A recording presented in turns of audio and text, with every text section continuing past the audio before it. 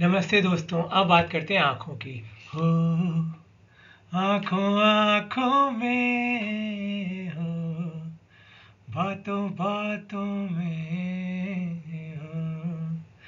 ले गया कोई हो, दे गया कोई सलाम इश्क इश्क इश्क सलाम इश्क तो आँखों आँखों में कितने सारे गाने बने आँखों पर। तो अब आँखों में दो इंपॉर्टेंट रिसेप्टर्स होते हैं जो मैंने आपको बताया था मस्करिनिक वाले M3 और एड्रेनर्जिक वाले अल्फ़ा वन ठीक है? M3 अल्फ़ा वन आँखों में, ठीक है? सर्कुलर मसल ऑफ़ आयरस जो होती है, उसके अंदर प्रेजेंट होते हैं आपके M3 रिसेप्टर क्योंकि वो सर्कुलर मसल है तो ऐसे गोल गोल गोल गोल गोल गोल घूमती है तो ओ कंस्ट्रिक्शन ऑफ़ यूर मतलब प्यूपिल को आँख की पुतली अगर इतनी बड़ी होगी तो उसको इतना छोटा कर देगी। और जो रेडियल मसल ऑफ़ आयरस होती है, जो ऐसे पुल करती है, अभी हम डायग्राम में देखेंगे, उसमें होते हैं प्रेजेंट अल्फ़ा वन रिसेप्टर जो कि आग की पुतली को बड़ा करते हैं। That is D D D D D D mydriasis dilatation of the pupil ठीक है? तो मस्करनिक स्टिमुलेशन में क्या होता है? स्फिंटर मसल कॉन्ट्रैक्ट करती है और कॉन्ट्रैक्शन के आप देख सकते हो, जो काली पुतली है मतलब आग की जो पुतली है, काली रंग की ये और छोटी हो जाएगी। ठीक है मस्करनिक एगोने जैसे अगर हमने पाइलोकार्पिन दिया तो। ठीक है, और सिलेरी मसल में कौन से रिसेप्टर होते हैं? एक्सक्लूसिवली एम थ्री रिसेप्टर उसमें कोई एडर्नर्जी का रोल नहीं होता। M three receptor in the ciliary muscle causes contraction of the ciliary muscle तो इससे जो आपका आँख का जो अपर्चर होता है, वो और थोड़ा छोटा होता है और आपकी आँखें एक जगह पे कन्वर्ज करती हैं you can see here in this diagram ठीक है that is accommodation for near way ताकि आप और ज़्यादा फोकस करके चीज़ को कॉन्सेंट्रेशन से पढ़ पाओ। तभी जब आप बुक को पढ़ते हो, आपके आँख के पास होती है तो अकोमोडेशन ठीक है? अब इसी के उल्टा मस्करेनिक एंटागोनिज्म जैसे अगर हम एंटीकोलिनर्जिक देंगे तो वो क्या करेंगे?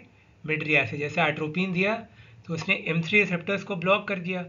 एम थ्री ब्लॉक हो गए तो अल्फ़ा वन की अनोपोज एक्टिविटी आपको हमेशा ये चीज़ समझनी होगी, मैं इससे बता देता हूँ। सपोज़ ये सिंपथेटिक है और ये पैरासिम्पथेटिक है। अगर एक की एक्टिविटी कम हो रही है तो दूसरे की अनपोज एक्टिविटी से ज़्यादा होगी। जैसे कि अगर आपने एक ब्लॉकर दिया सपोज़ आपने एक कोलिनर्जिक ब्लॉकर दिया एट्रोपिन उसने पैरासिम्पथेटिक एक्टिविटी कम कर दी तो ये रूल है कि अगर एक की एक्टिविटी कम होगी, दूसरे की अनपोज एक्टिविटी ज़्यादा होगी। तो अब एम थ्री रिसेप्टर्स पर जा करके एट्रोपिन बैठ गया, उसने सबको ब्लॉक कर दिया। तो अब अल्फ़ा वन की अनुपोर एक्टिविटी की वजह से ज़्यादा डायलिटेशन होगा।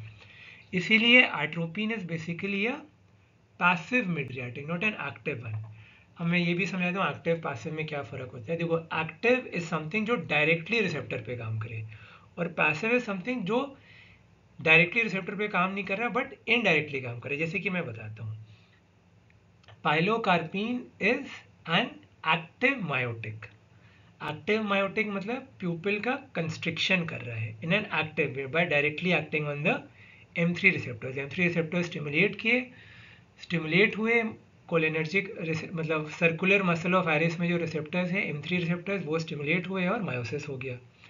ठीक? अब पैसिव मायोटिक क्या हुआ? पैसिव मायोटिक हुआ आपका अल्फ़ा वन ब्लॉकर जिसने अल्फ़ा वन को ब्लॉक करके अल्फ़ा वन को ब्लॉक कर दिया।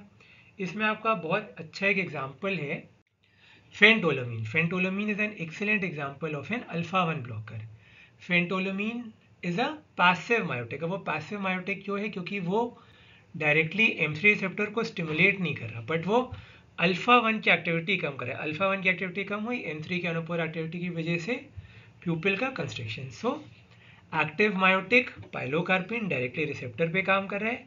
पैसिव मायोटिक फेंटोलोमीन क्योंकि वो अल्फ़ा वन रिसेप्टर को ब्लॉक करके M3 की अनपोज एक्टिविटी करा रहा है। अब ऐसी बात करते हैं एक्टिव और पैसिव मिड्रियाटिक्स की। एक्टिव मिड्रियाटिक जो डायरेक्टली अल्फ़ा वन रिसेप्टर को स्टिमुलेट करे that is phenylephrine phenylephrine directly alpha one receptor को स्टिमुलेट करके रेडियल मसल ऑफ़ आयरस को कॉन्ट्रैक्ट करके ऐसे फाइबर्स को इधर खींचेगा और आँख की पुतली बड़ी हो जाएगी। Passive mydriatic is atropine directly alpha one receptor पे काम नहीं कर रहा बट एम थ्री रिसेप्टर की एक्टिविटी को कम कर दे रहा है। एम थ्री पे जाके बैठ के उसको ब्लॉक कर दिया तो अल्फ़ा वन की अनपोज एक्टिविटी की वजह से there is dilatation of the pupil that is mydriasis ठीक है, ये इससे आपको मैं बता चुका हूँ, इसको क्लियर हो चुका है ये अल्फ़ा वन एगोनिस्ट फिनाइलेफ्रीन वो सिर्फ़ मिड्रियासिस करेगा साइक्लोप्लीजिया नहीं करेगा। Cycloplegia is paralysis of the ciliary muscle plegia कुछ भी होता है मतलब पैरालिसिस या वीकनेस जैसे हेमीप्लीजिया में आधा हिस्सा बॉडी का काम करना बंद कर देता है। क्वाड्रीप्लीजिया में चारों लिम्स काम करना बंद कर देते हैं। दोनों हाथ पैर नहीं काम करते हैं। तो ये सिलेरी मसल में अगर होगा तो साइक्लो साइक्लोप्लीजिया ठीक है? तो अल्फ़ा वन एगोनिस्ट हम इसीलिए ज़्यादा प्रेफर करते हैं कि वो सिलेरी मसल को इफ़ेक्ट नहीं करता है। तो जब हम, आप चश्मे का नंबर लेने के लिए ये, इसके लिए आप जाते हैं आई के डॉक्टर के पास तो बेसिकली आपको कोशिश की जाती है कि फिनाइल एफ्रीन डालें एट्रोपिन ना डालें। क्योंकि अगर फिनाइल एफ्रीन डालेंगे तो सिर्फ़ आपका प्यूपल डायलेट होगा।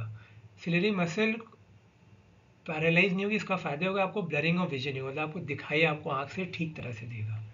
ठीक है? So there is no blurring of vision but अगर एट्रोपिन डाली तो फिर दिखने में भी दिक्कत होगी। डिप्लोपिया होगा। डिप्लोपिया मतलब डबल विजन ठीक है? या फिर ब्लड विजन ठीक है? वो ना हो, इसीलिए हम लोग फिनाइलिफ्रीन को यूज़ करते हैं। और जैसे मैंने बताया था मिड्रियासिस पैसिव मिड्रियाटिक कौन सा हो गया आपका? एट्रोपिन उसने M3 को ब्लॉक किया या M3 की एक्टिविटी कम हो गई। तो अल्फ़ा वन की अनुपोज एक्टिविटी की वजह से there is contraction of the radial muscle जो आप देख सकते हैं यहाँ पे। ठीक है, ये जो आपको स्पोक्स ऑफ़ द व्हील दिख रहे हैं like the spokes of a wheel spokes of a wheel is a radial muscle ये कॉन्ट्रैक्ट करेगी पुतली को बड़ा कर देगी। ठीक है जस्ट समराइजिंग आई को पाइलोकार्पिन से ट्रीट किया और एट्रोपिन से ट्रीट किया differences I hope this is now crystal clear आँख पे इफ़ेक्ट बहुत इंपॉर्टेंट है, बहुत पूछा भी जाता है। Okay this finishes of the section on eye कौन से रिसेप्टर्स होते हैं, क्या करते हैं। अब अगले एपिसोड में कॉलिनर्जिक एगोनिस्ट की बात। तब तक के लिए this is Karun Kumar signing off bye bye